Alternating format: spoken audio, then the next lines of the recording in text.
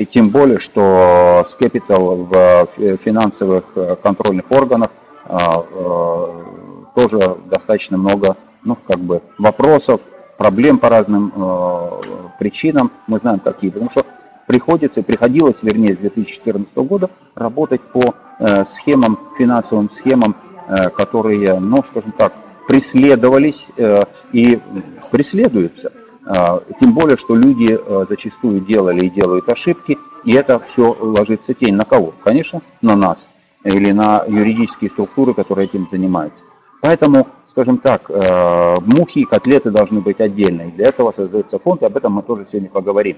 Поэтому мое заключение или наше заключение, скорее всего, правления, что да, сейчас нам надо интенсивно заниматься созданием этого фонда, его структур, Э, э, запуском э, как бы, проекта. И тут мы значит, сталкиваемся с чем? С тем, что сказал Анатолий Эдуардович какое-то время назад. Я это говорил на конференции, повторю, и перед вашим сообществом неоднократно уже, я помню, что я об этом говорил. Когда я ему задал вопрос, Анатолий Эдуардович, скажите, что сейчас является самым, ну, каким-то вот важным ресурсом? Он, естественно, автоматом сказал деньги, потом сказал, стоп, подумал и сказал, нет, вы знаете, что деньги деньгами, но кадры решают все. Поэтому сейчас очень важно, а, значит, а, как мы комплектуем все наши проекты кадрами. И он говорит, об этом мы как-то не очень сильно думали. Мы думали, комплектуя э, зал струнной технологий, КБ, в том, ну, КБ входит в зал струнной технологий, все промышленные, производственные площадки, зал струнной технологий. А, он говорит, что смотрите, насколько у нас здесь персонал Э, сменился, потому что мы оставляем только лояльных проекту людей. Нельзя работать и нельзя задавать творческие задачи людям, которые не верят в проект. Они не дадут результата или результат будет кривой. Вот э, та же самая история у нас сейчас. Мы тоже э, как бы растем, и это мы тоже э, это одно из заключений. Поэтому мы сейчас делаем все для того, чтобы структуры работали, начинались бы с минимальных затрат. Вот, очень важным считаем обучающую составляющую, и об этом тоже сегодня, э, скажем, ну, сегодня я тоже скажу. Э, завершается проект СКТП. Да, он завершается, он потихоньку завершается. Я так думаю, что э, ну, в конце этого года, в начале следующего года определенные фазы будут закрыты. Когда задавали вопрос, что ну хорошо, а если вдруг кто-то там, или когда, не если, а когда, будет инвестиция достаточно в скажем, а, строительство, для строительства высокоскоростной трассы, э, сертификационной трассы. Анатолий Дарьевич сказал правильно. Он говорит, вы знаете, инвестиция будет, но э, мы уже сегодня знаем, что никто э, на нам приемлемых условиях этой инвестиции не сделает. Давайте не строить себе иллюзий. Сделают, но тогда будут другие условия, и мы не знаем, сможем ли мы в полной мере пользоваться этой технологией, которую мы отработаем под эти, из, из-под этих инвестиций. Поэтому давайте инвестировать сами. Что это значит? Это значит, что это наш труд, дорогие друзья. Впереди колоссально, еще больше, а, скажем так, а, нужно а, поработать. Вот. И это тоже интересно. Но это не значит, что надо тянуться сейчас. Все, кто там дернулись вот по ту сторону экрана к своим кошелькам, начали считать, сколько еще могу инвестировать. И это тоже надо знать. И здесь надо разумно действовать. Я потом скажу, что э, инвестиции, каждый следующий этап, все выгоднее и выгоднее инвестировать. Вот, э, как скажем, в спорах рождается истина. Э, Станислав из Германии, с которым у нас возник небольшой такой, как бы, ну, не спор, а дискуссия, что он не совсем понимал, что я хотел выразить э, в таблице, не в таблице, а в расчетах, которые там будут. А в расчете выяснилось, что оказывается э, там есть свой нюанс, что я показывал именно выгоду конкретного этапа, а не того, как с одного этапа переходит человек, инвестировал, допустим, в 10 этапе, перешел в 11 или 12 в данном нашем случае, 12 этап, и э, э, какова тогда выгодность его э, следующих инвестиций на этом этапе с продвижением из месяца в месяц. Вот. То есть это так называемая расчетная выгодность или расчетная прибыльность его инвестиций. А расчеты были даны только для того, мои первые расчеты были даны для того, для того, для того случая, когда человек входит на этап и инвестирует на этом этапе. и показывал на предыдущем этапе, что это значило, и что какова динамика на следующем этапе. То есть с каждым следующим этапом выгоднее, выгоднее, выгоднее инвестировать. Хотя цифры показывают, что о, там дисконт был другой. Нет, прибыльность э, значительно выше с каждым последующим этапом. И это я сегодня вам еще покажу. Позже. Значит, э, первая стадия адресных. Э, вот еще вывод и заключение, значит, что мы сейчас проходим э, именно первую стадию пилотных наработок по адресным проектам. Да, теоретически положение, я вот поднял архив, было разработано в начале 2016 года положение по проведению адресных проектов. Оно стояло, время от времени мы к нему обращались и так далее. Сейчас оно становится актуальным, мы его поднимаем, мы его сейчас дорабатываем, смотрим и начинаем уже исходя из пилотных э, наработок. Потому что за столом кабинетно этого не сделать. Вот. И для этого делаются пилотные проекты и в Сан-Бернардино, и в Таллине, и в Риге, и в Хельсинки. Вот. Э, и что самое важное, что мы создаем, видите, здесь прямо я написал вам, что создание новой легальной системы народного финансирования. И это только через фонд. Легальная система народного финансирования – это значит э, переход на э, или использованием а, токенов, с использованием блокчейн решений мы это сможем сделать и э, легализироваться перед финансовыми инспекциями там, где мы проводим эти, а, скажем, размещения. Вот. Проекты транспортной системы адресной основы для создания об этом я тоже вам скажу, потому что был разговор, задавались вопросы, что такое кластер, расскажите про кластер, это очень интересно. У нас там в чате Э, я на примере, на устном примере вам немножко раскрою эту тему здесь в четвертом пункте. Э, таким образом, дорогие друзья, давайте идем дальше.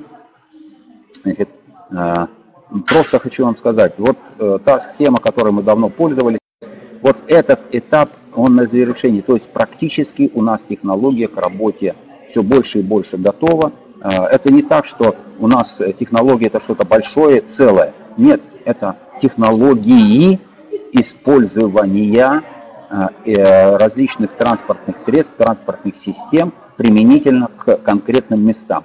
Это можно уже делать, можно по городскому транспорту, по определенным э, грузовым решениям, это все можно уже делать и нужно уже делать. Поэтому мы и делаем адресные проекты. Головная компания делает большие адресные проекты, то есть так называемый перевод высокоскоростной э, сертификационной трассы, перенос ее в Объединенные Арабские Эмираты, это не, мне задавали вопросы, Анатолий Дарович, что с Индией, что с Индонезией, что со Вьетнамом, что с Австралией. Эти проекты, они никуда не делись, они все находятся в стадии, определенной стадии подготовки. У нас нет времени заниматься тем и там, где нет финансового потока, понимаете? Мы не можем завязнуть в это дело. Поэтому есть вещи, которые стоят пока там подготовится ситуация, пока там политики разберутся в одном месте, э, пока найдут финансовую схему и разрешение финансировать э, не только в Австралию, а финансировать и, скажем, решения, технологические решения в Беларуси и где-то в другом месте, э, проект пойдет дальше. Это не значит, что что-то где-то стало и стоит и завязло по самые уши во что-то. Нет, работа идет. Поэтому вот эта стадия, она отработана, она работает и она будет работать дальше.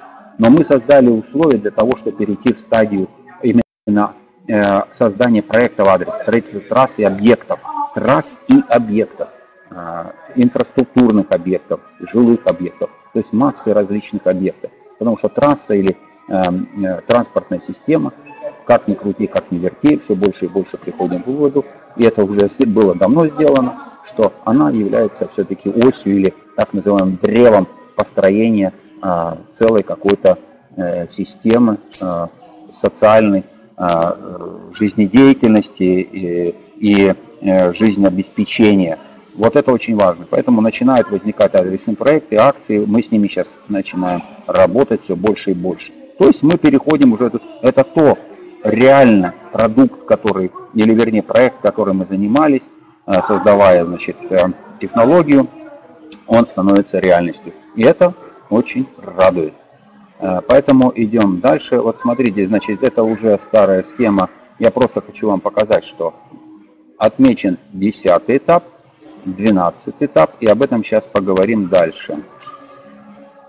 Мы знаем, что там было значит, на 10 этапе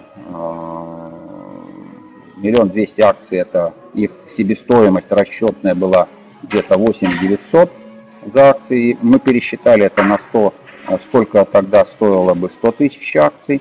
И на 12 этапе точно так же. И что мы получили? Мы получили, что в данном случае 100 тысяч акций стоят на 10 этапе 742 доллара, не стоит, а их э, ценность или стоимость, э, инвестиционная стоимость, да. На 11 этапе это 1300, 100 тысяч акций.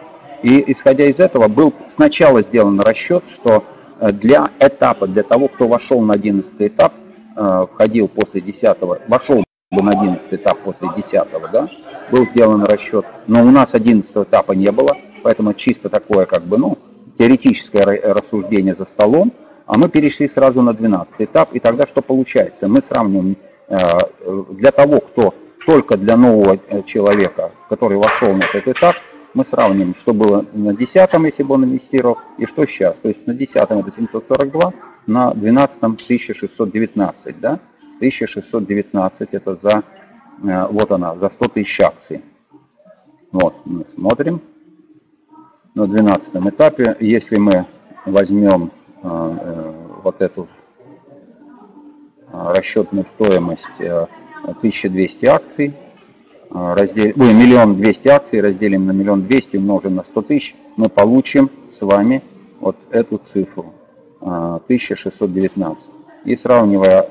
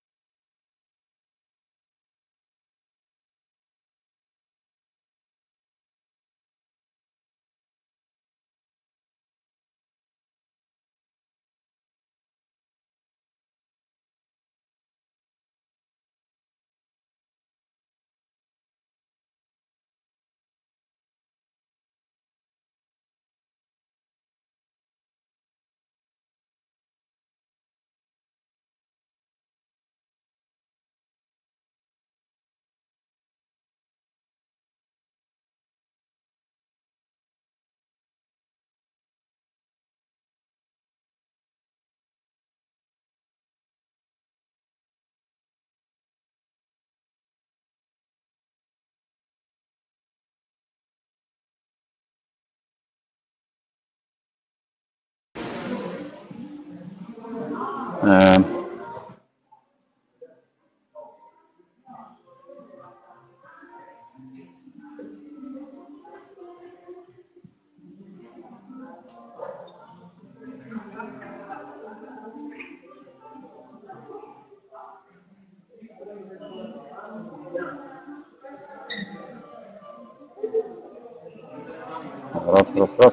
Меня сейчас слышно, меня выбило э, значит, из интернета, сейчас я вошел, э, потерпите, прошу прощения. Я загружаю файл, и вот, а, есть. Угу, сейчас он будет. Очень медленно работает, но ничего не поделаешь. Друзья, прошу прощения, потерпите.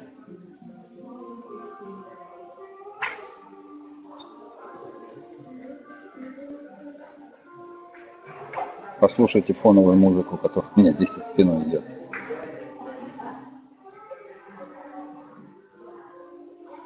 А, так, видно, слышно меня, дайте знать. Да, вроде должно быть слышно, обратную связь.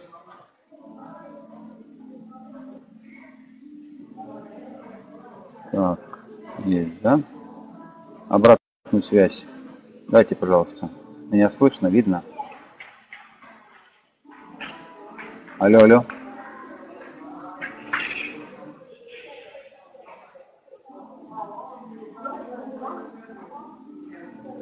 Коллеги, не слышу.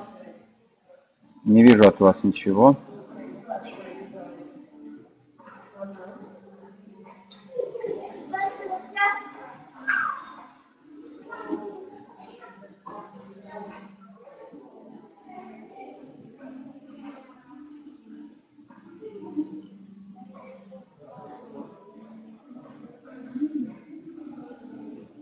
Дайте обратную связь. Сейчас почему-то я... А, это вопрос, видимо.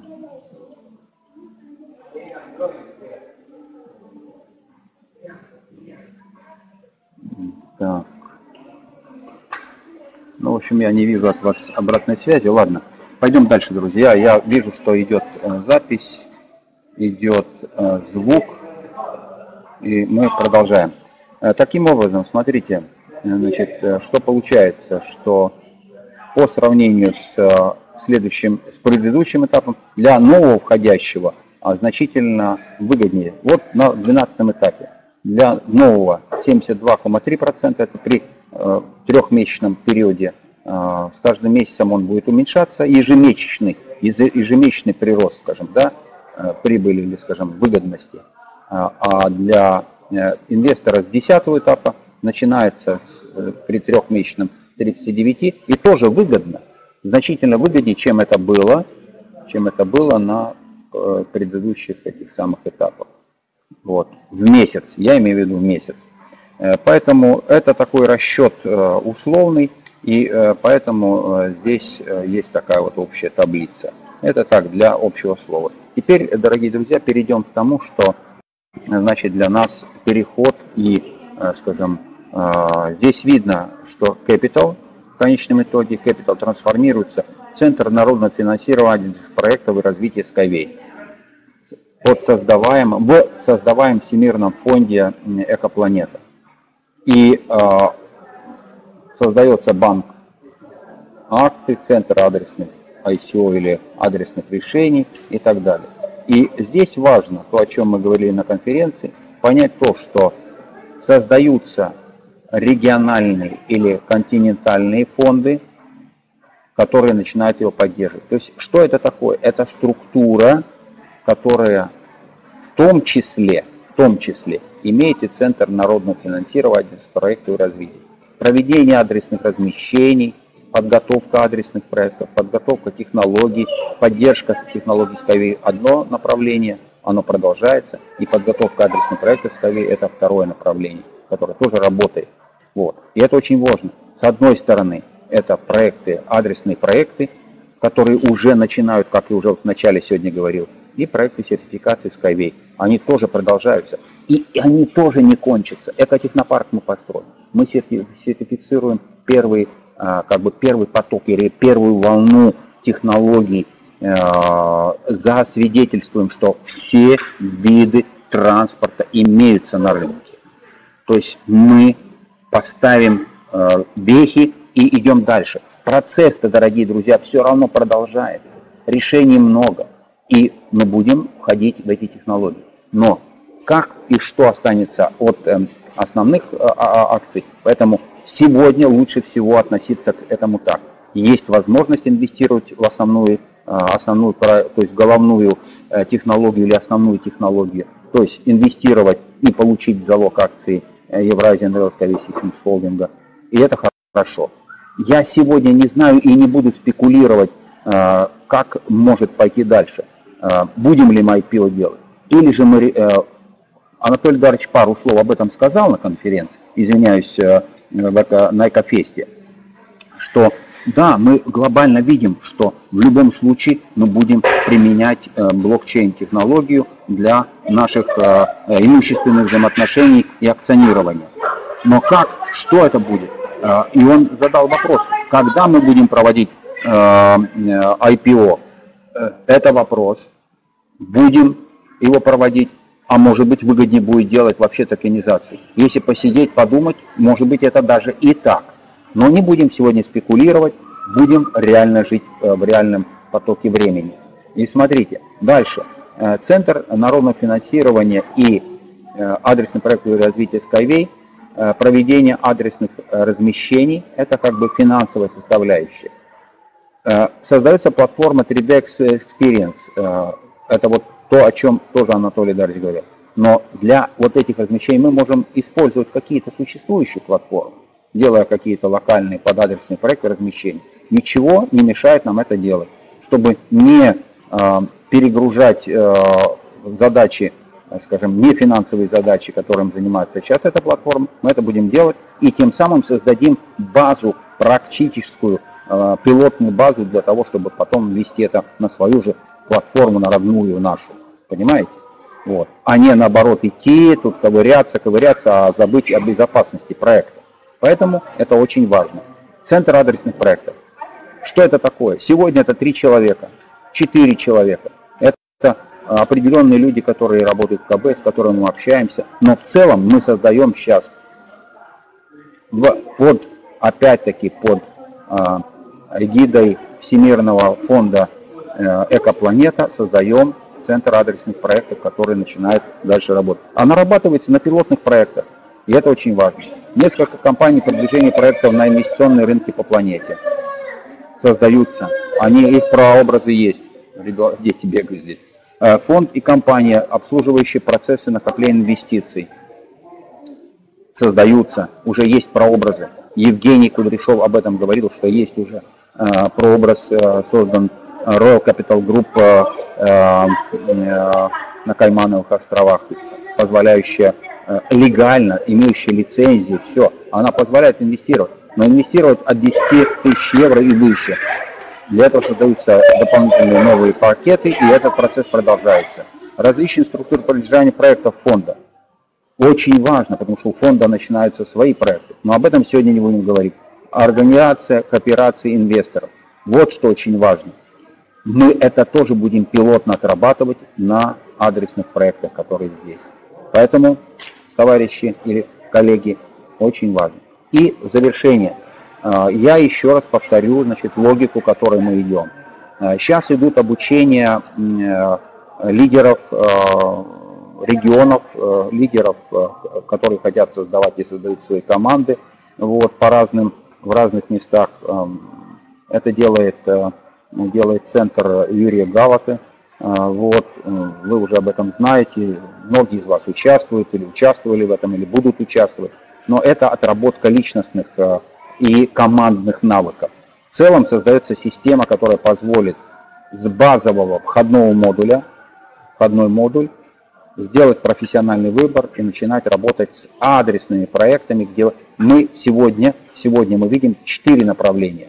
Но для этого, чтобы туда пройти, нужно сначала завершить и пройти так называемый обучение входного модуля. Я уже говорил в прошлые разы, что э, с э, сентября или конца сентября, или скорее всего середины сентября, после Экофеста, раньше мы просто физически не успеем, вот, мы переходим на режим э, одного вебинара, вот такого, который сейчас я провожу, одного вебинара в месяц, но начинается обучение по модулю.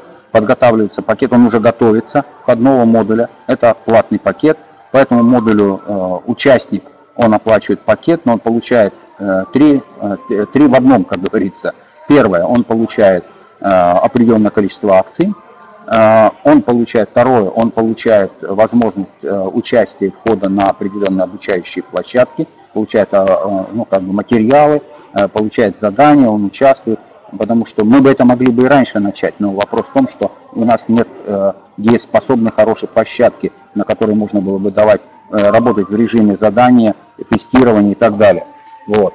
И третье, он получает в конечном итоге сертификат, что он имеет право, э, во-первых, говорить о проекте Skyway, что он имеет э, знания и так далее, что он прошел базовую подготовку в э, части особенностей проекта, ориентации в социуме, системных навыков, общую базу знает по технологии Skyway.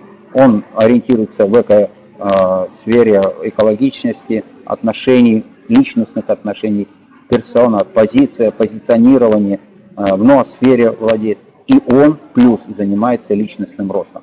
Для этого это все делается очень просто. Есть критерии, если человек выполняет этот критерий, он получает, он переходит, он получает сертификат, и он поступает его, или, скажем, как кандидат э, кадрового резерва в банк. Но тем самым он получает право идти через профессиональный выбор по одному из направлений дальше. Это только по адресным проектам. Э, есть еще и другие. То есть выбирает какое-то направление и переходит или он проходит только до первой ступени, до второй или третьей. Все это будет описано более подробно. И таким образом, пройдя, например, ну вот в данном случае, дойдя до четвертой ступени, это, эм, скажем, можно выбрать, например, это человек, который э, будет способен управлять адресной, э, э, быть управляющим компанией, которая занимается, готовит, подготавливает, готовит или проводит адресный проект или конкретный проект строительства по технологии Skyway. И это очень важно, дорогие друзья. И, наконец, здесь э, я вам покажу такую, э, такую что вот по адресным направлениям 4 направления, но есть создание поселений и линейных городов. Одно, два, три. Три направления сейчас просматриваются, я не стал их раскрывать. Что это за направление? Точно та же э, логика. То есть, предыдущим опять-таки может участвовать тот, кто прошел входной модуль. Все. И будет для этого использоваться еще и а, площадка или ресурс Upline. Поэтому знакомьтесь, друзья, с Upline, кто хочет развиваться идти дальше. Она дорабатывается, и все равно эта база начинает использоваться. То есть она получает свои дополнительные модули, они начнут работать именно вот в этой логике, которая здесь изложена, обеспечивая нам а, наши, как бы, ну, выполнение наших задач. И э, в завершение я еще потом вернусь немножко назад, э, что такое, значит, э, как, как выглядит размещение по адресному проекту 1, например, потом уже Таллинскому или потом уже Сан-Бернардино. Разрабатываться будут, они не будут, а разрабатываются токены. Не исключено, что будут акции по этому проекту введены. Это все зависит от того, как заказчик, там есть определенная группа Э, которая позиционируется пока как заказчик. Э, в таллинском проекте тоже есть, э, но не выбрано пока город и порт не сделали эти выборы, значит, в Рижском точно так же, но заинтересованы. И тут мы можем как бы диктовать свои условия, что если мы остаемся тоже заказчиком, тогда, значит, мы тоже финансируем, но тогда мы остаемся и в доле по самому проекту. Вот. И это нам тоже выгодно. И для вас важно, что я хочу довести, это то, что будет нулевое окно и первое окно. Что такое нулевое окно? Нулевое окно будут входить те, как Анатолий Дарович говорил, что там те, кто начинали в 14, 15, 16 году и так далее. То есть наше сообщество. А, Причем а, будут определенные суммы, с которых можно э, входить. То есть это не будет так, что там с 10 долларами можно будет войти. Поэтому, опять-таки, что нужно? Нужно будет использовать ресурс э, кооперации э, инвесторов или фонда кооперации инвесторов или э, вот этого центра кооперации инвесторов. Вот. И таким образом проект будет идти дальше. И так по каждому адресный проект 1, адресный проект 2, адресный проект 3. В целом, вот в таком понимании, будет ли второе окно, не знаю, по каким-то, может быть, будет и второе, и второе окно, то есть три так называемых э, входных момента. Э, потому что, э, может быть, э, через нулевое и первое окно нам и не надо будет уже открытого размещения делать. То есть мы решим своим сообществом все. Понимаете? И второе, второе окно, или когда мы привлекаем широкий круг инвесторов, он уже и не нужен будет. Мы уже зафинансируем основную часть проекта. Абсолютно реальные вещи. И таким образом, дорогие друзья, тут есть вопросы. Э, э, тоже его не видно в чате. Почему удалили запись прошлого вебинара? Э, откуда удалили? Продать часть своих акций минимум центов. Ну, Геннадий, вы готовы. Вопрос в том, что продать можно, когда есть покупатель, понимаете?